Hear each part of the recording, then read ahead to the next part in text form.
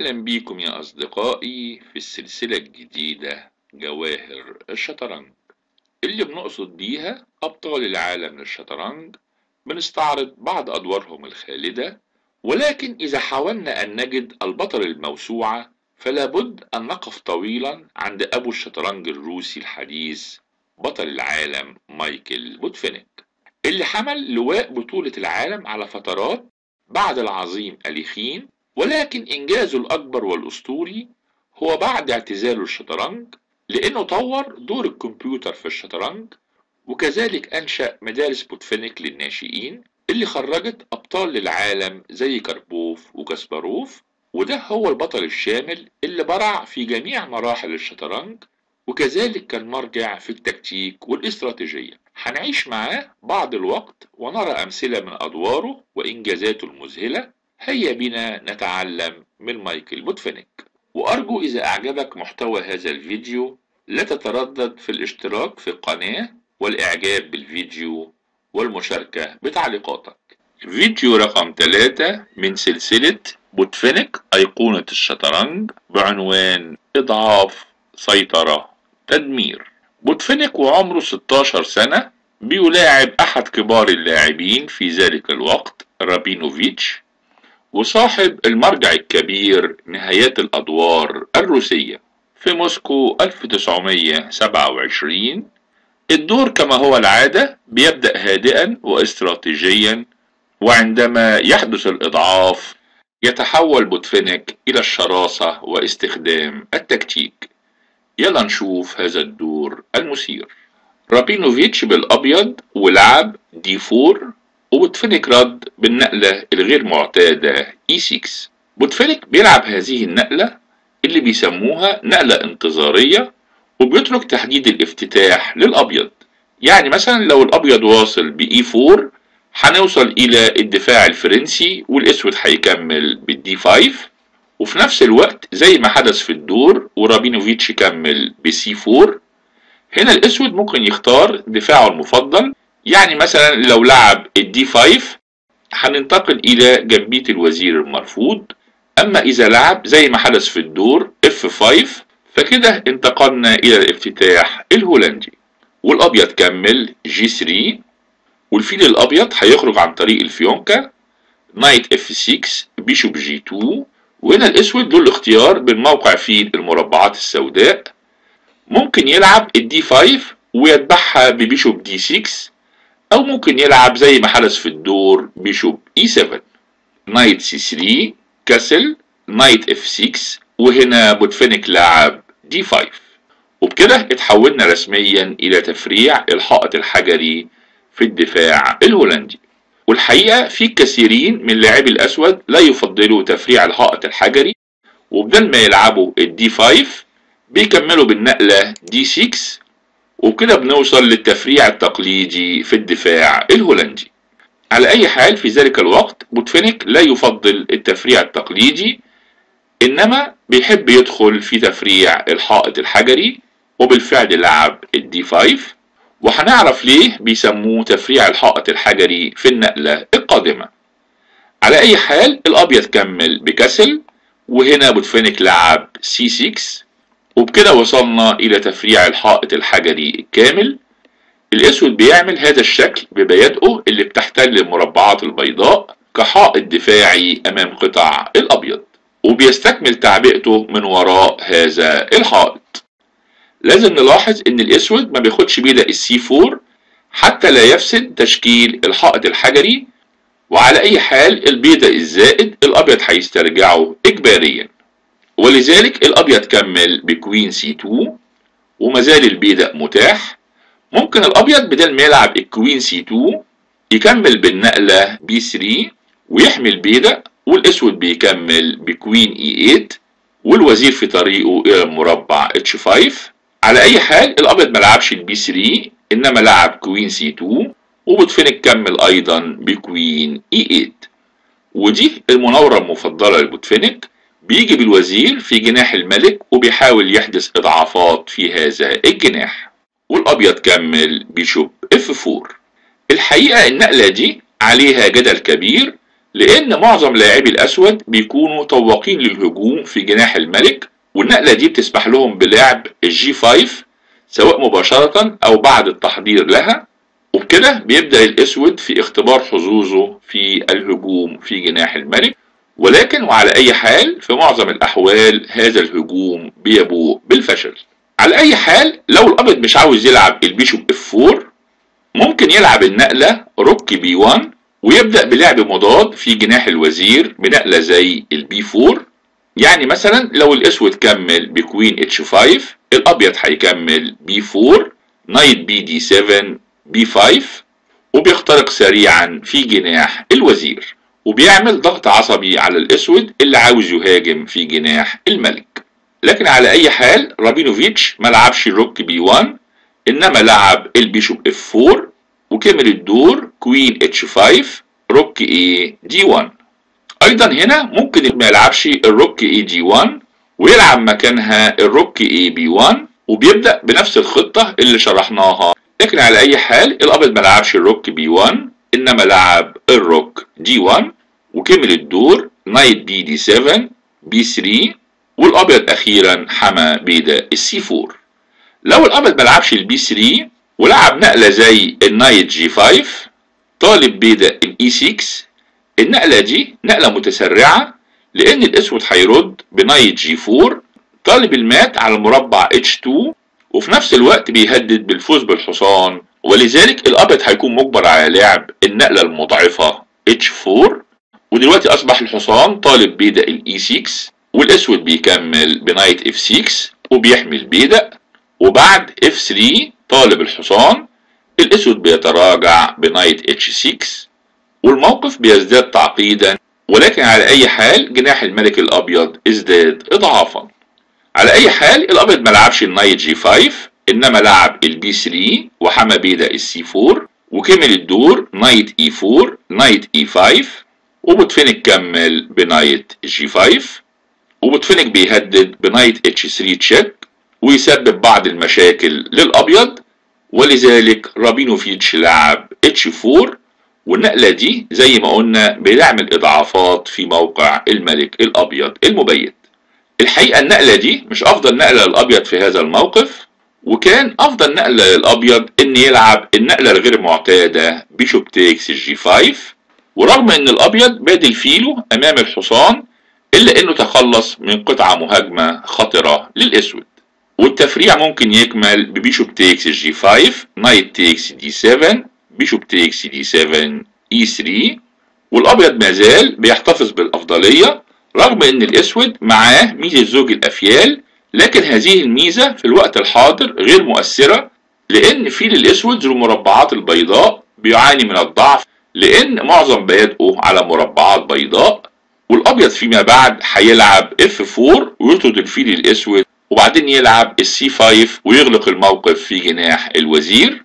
وبالطبع في المواقف المغلقة ميزة زوج الأفيال بتتضاءل قيمتها. على أي حال الأبيض ما لعبش ال bishop takes G 5 إنما لعب ال H 4 وده كان أول إضعاف في موقف رابينوفيتش. وبوتفينك كمل knight E 4 bishop F 3 طالب الوزير queen E 8 knight takes D 7 بالطبع من الأفضل للأبيض إنه يتخلص من بعض القطع وبعد bishop takes D 7 الأبيض لعب king G 2 الأبيض بيحاول يستفيد من النقلة H 4 لأنه منع الأسود من لعب ال G 5 اللي الأبيض في هذه الحالة هيرحب بالتكسير على المربع G 5 وهيلعب rook H 1 ويسيطر على العمود H ولكن على أي حال بوتفينك هنا لعب النقلة المفتاح في هذا الدور وهي النقلة الاستراتيجية bishop B 4 طالب ان يفوز بالحصان ال C 6 وبيستفز الأبيض للعب bishop takes E 4 اللي لعبها الأبيض بالفعل والنقله دي نقلة سيئة وبعد F takes E 4 الأسود أصبح بيسيطر على المربعات البيضاء في جناح الملك. عاوزين نقول إن الأبيض بدل ما يلعب ال bishop takes E 4 كان ممكن يلعب النقلة knight E 4 ورغم إن النقلة دي ليست نقلة قوية إلا إنها أفضل نقلة في هذا الموقف. على أي حال بعد ال bishop B 4 الأبيض لعب bishop takes E 4 والأسود كمل F takes E 4 وزي ما قلنا الأسود سيطر على المربعات البيضاء في جناح الملك ومن هنا وإلى النهاية بوتفينك هيقود الدور إلى النصر. على أي حال الأبيض كمل ب rook H 1 وبوتفينك كمل بالنقلة القوية queen H 5 والنقلة دي لها أكتر من غرض وأكتر من تهديد. اولا الأسود بيهدد ب bishop takes C 3 وبعد queen takes C 3 بوتفينك هيقتحم معسكر الأبيض ب queen takes E 2 وكذلك هناك التهديد الخطير بالتضحية rook takes F 4 ويفتح عمود ال G على الملك الأبيض. على أي حال الأبيض كمل بالنقلة الضعيفة F 3 وبعد النقلة دي اللي بتضعف أكتر وأكتر جناح الملك الأسود زادت فرصه كثيرا في الفوز. وبوتفينك كمل ببساطة بالنقلة الخبيثة queen G 6 الوزير راح في مربع ممتاز وأصبح عنده أكتر من تهديد. اولا إن ياخد على المربع F 3 بكش الملك وفي نفس الوقت بيكشف تهديد للوزير غير محمي والأسود بيفوز بالوزير. وثانيا بيحيي التهديد القديم ب rook takes F 4 ولكن في هذه الحالة مش هتكون تضحية إنما هيكون فاز بقطعة لأن بيدق ال G 3 مربوط على الملك. ولذلك الأبيض لعب اجباريا king F 1 ولكن على أي حال الملك على العمود F ليس امنا لأن العمود F هيتم فتحه قريبا. وبالفعل بوتفينك كمل بنقلته القوية E 5 رغم إن البيدق غير محمي إلا إن هذه النقلة نقلة حاسمة. الأسود عاوز الفيل وفي نفس الوقت بيدخل فيله الأسود إلى الهجوم المباشر على الملك الأبيض.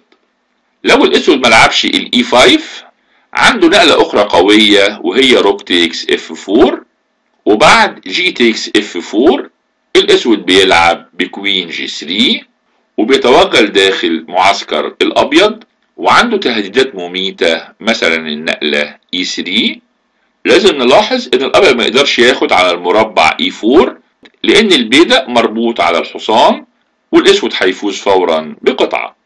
على أي حال الأسود ما لعبش rook takes F 4 إنما لعب E 5 ورابينوفيتش يائسا لعب D takes E 5 ودي بالطبع نقلة سيئة. على أي حال لو ما لعبش d takes e 5 ولعب bishop takes e 5 دي أيضا نقلة سيئة. والأسود هيكمل بنقلته القوية ب queen g 4 وبيدق ال f مربوط على الملك. والأسود بيهدد بالأخذ على مربع f 3 والدفاع الوحيد هو bishop f 4 وهنا الأسود بيكمل ب rook takes f 4 g takes f 4 e takes f 3 والأسود بيفوز في جميع التفريعات. على أي حال الأبيض ما لعبش bishop takes e 5 إنما لعب d takes e 5 لكن كان أفضل دفاع عنده هو إنه يحاول لعب اتش 5 طالب الوزير ومع ذلك الأسود عنده التكملة القوية bishop h 3 check rook takes h 3 queen e 6 طالب الرخ rook h 2 e takes f 4 طالب ياخد على المربع جي 3 ويفتح عمود ال f والدفاع الوحيد هو الجي 4 وهنا الأسود بيكمل ب rook e 8 بالتهديد القوي e takes f 3 والأسود عنده هجوم في منتهى القوة. على أي حال الأبيض ما لعبش الاتش 4 إنما لعب d takes e 5 وبوتفينك كمل بالتضحية القاتلة rook takes f 4 ودي كانت الخطوة الأولى في خطة بوتفينك النهائية لأن الأسود أنتج فجوة كبيرة في دفاعات الأبيض. وبعد g takes f 4 بوتفينك انتقل إلى الخطوة الثانية وهي queen g 3 والأسود عنده تهديدين التهديد الأول e 3 و checkmate على المربع f 2 والتهديد الثاني الكش القوية bishop h 3 check على أي حال الأبيض لعب النقلة الدفاعية الوحيدة المتاحة knight takes e 4 والأسود كمل d takes e 4 rook takes d 7 ودلوقتي مربع ال f 2 أصبح الهدف المشترك بين الأسود عشان يدي checkmate وبين الأبيض عشان يدافع عن ال checkmate. والأسود ممكن يكمل بنقلة من نقلتين يا إما يلعب e 3 عشان يلعب queen f 2 أو يلعب ال bishop c 5 وأيضا بالتهديد queen f 2 checkmate. لكن في الحقيقة أحد هاتين النقلتين نقلة قوية والأخرى نقلة كارثية. وهترك لك بضعة ثواني للتفكير في اي النقلتين هي الأفضل.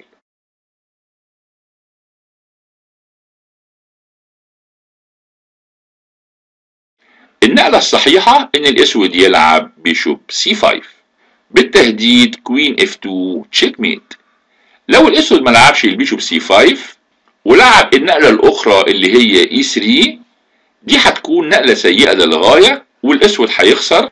لأن الابيض عنده الرد العبقري rook takes g 7 check بالتهديد المزدوج للملك والوزير. وايا كانت القطعة اللي هتاخد الرخ الابيض هيكمل ب rook g 1 وهيفوز بالوزير أمام رخين وهيكون متفوق ماديا وهيفوز بالدور.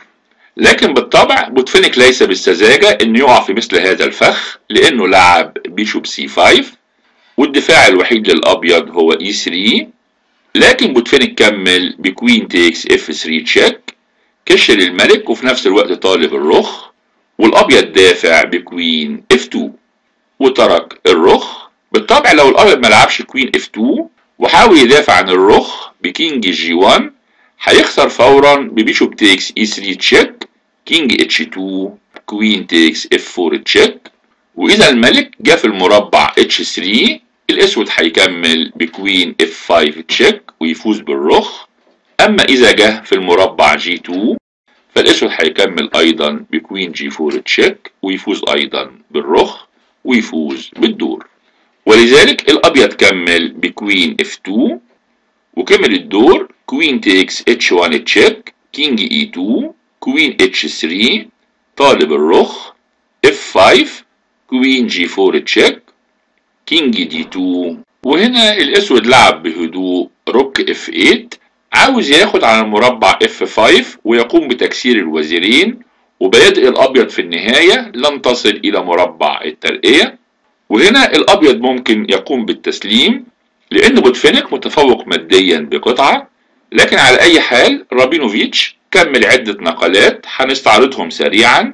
E6 queen takes f5 queen takes f5 rook takes f5 rook takes b7 rook f2 check king e1 rook f6 طالب بيدق ال e 6 b 4 طالب الفيل bishop takes a 3 king e 2 bishop G 1 والأبيض واصل E 7 طالب الترقية والأسود كمل king F 7 وبيهدد ب rook E 6 ويفوز بالبيدق لكن الأبيض كمل E 8 queen check king takes E 8 rook takes G 7 طالب الفيل rook G 6 rook H 7 bishop D 4 C 5 rook G 2 check king F 1 rook F 2 check king E 1 وهنا بوتفينيك أنهى الدور ب E 3 طالب bishop C 3 check والبيدق في طريقه لمربع الترقية ولذلك الأبيض سلم.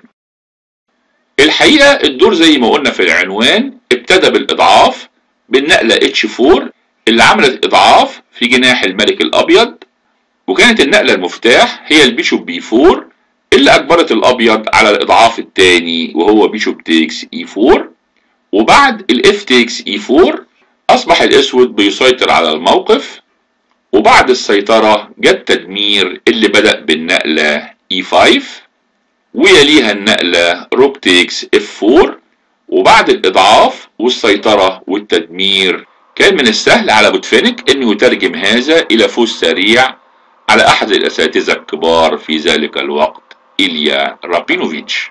وإلى اللقاء في الفيديو القادم مع بوتفينيك أيقونة الشطرنج.